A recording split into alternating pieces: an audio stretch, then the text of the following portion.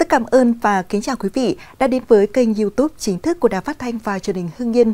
Chúng tôi luôn cập nhật những thông tin mới nhất, nóng nhất trong suốt 24 giờ qua để gửi đến quý vị. Ngay sau đây là phần nội dung chi tiết. Theo thông tin từ lãnh đạo Công an phường Tây Mỗ, quận Nam Từ Liêm, Hà Nội cho biết, lực lượng công an đã bắt được nghi phạm đập phá hơn 40 ngôi mộ tại Nghĩa Trang trên địa bàn. Trước đó, ngày 19 tháng 2, Ủy ban Nhân dân phường Tây Mỗ nhận được thông báo hơn 10 ngôi mộ tại Nghĩa Trang bị phá hoại. Sau đó, chính quyền, công an phường có mặt tại hiện trường ghi nhận sự việc. Tuy nhiên, đến tối cùng ngày, hàng loạt ngôi mộ tiếp tục bị phá hoại. Theo thống kê, có khoảng hơn 40 ngôi mộ tại Nghĩa Trang bị đập phá bát hương, lọ hoa. Thông tin này cũng được chia sẻ rộng rãi trên mạng xã hội, thu hút hàng nghìn lượt bình luận chia sẻ. Hầu hết mọi người đều lên án hành động phá hoại những ngôi mộ, mong công an sớm tìm ra thủ phạm. Một trong những hộ dân có phần mộ bị kẻ xấu phá hoại, ông Đỗ Văn Chí, 63 tuổi ở phường Tây Mỗ cho biết, Nghĩa Trang có từ lâu đời, đây là nơi an nghỉ của rất nhiều người đã khuất nhưng chưa bao giờ xảy ra tình trạng bị kẻ xấu phá hoại. Theo ông Chí, sau khi xảy ra sự việc, gia đình ông thường xuyên đến đây kiểm tra để tránh tình trạng ngôi mộ bị kẻ xấu phá hoại lần hai. Ông Trần Đình Đỏ ở phường Tây Mỗ cho biết, sáng ngày 22 tháng 2, ông ra Nghĩa Trang kiểm tra thì phát hiện phần mộ của người thân bị đập phá bát hương, lọ hoa. Ông Đỏ cho hay, gia đình ông không có thù hằn với ai nên cũng không nghi ngờ đối tượng nào phá hoại các ngôi mộ tại Nghĩa Trang. Vẫn theo thông tin từ Công an phường Tây Mỗ, quận Nam Từ Liêm, Hà Nội cho biết, đối tượng bị bắt giữ sinh năm 2008 là nghi phạm trong vụ đập phá hơn 40 ngôi mộ tại Nghĩa Trang phường Tây Mỗ, quận Nam Từ Liêm, Hà Nội. Theo thông tin từ nhà chức trách, đối tượng có biểu hiện tâm thần. Ngày 23 tháng 2, Công an phường Hoàng Liệt, quận Hoàng Mai, thành phố Hà Nội đang phối hợp lực lượng chức năng điều tra vụ phóng hỏa tại quán bia trên đường Giải phóng địa bàn phường Hoàng Liệt.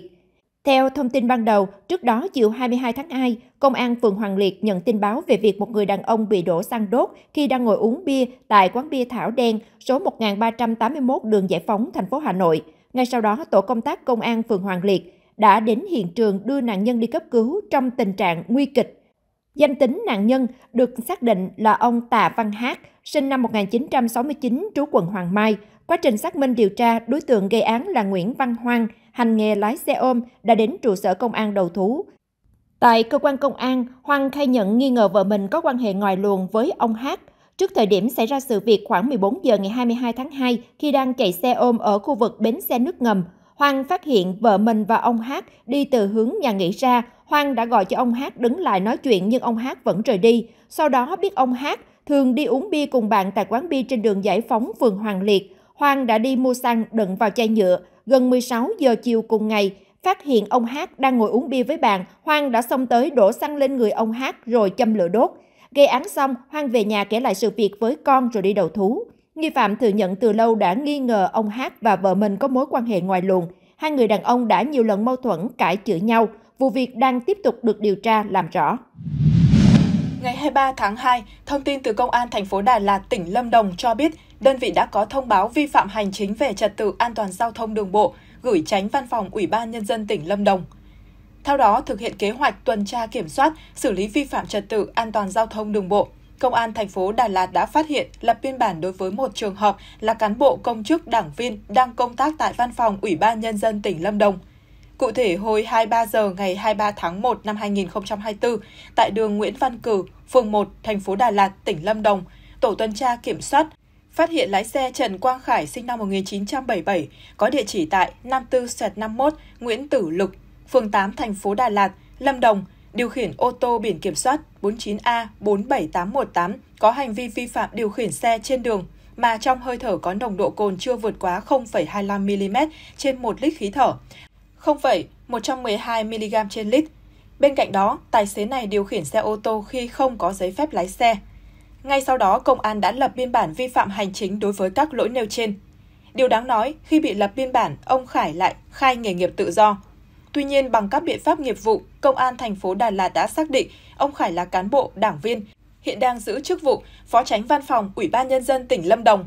Theo Đại tá Trần Vĩnh Phú, trưởng Công an thành phố Đà Lạt, Căn cứ các lỗi vi phạm, Công an thành phố Đà Lạt đã thông báo và kính đề nghị đồng chí tránh văn phòng Ủy ban Nhân dân tỉnh Lâm Đồng chỉ đạo kiểm điểm cán bộ, đảng viên, vi phạm và trách nhiệm liên đới của cá nhân tập thể có liên quan, theo đúng chỉ đạo của Ban Bí thư và Thủ tướng Chính phủ đồng thời trao đổi lại kết quả xử lý trước ngày 15 tháng 3 năm 2024 để báo cáo các cấp.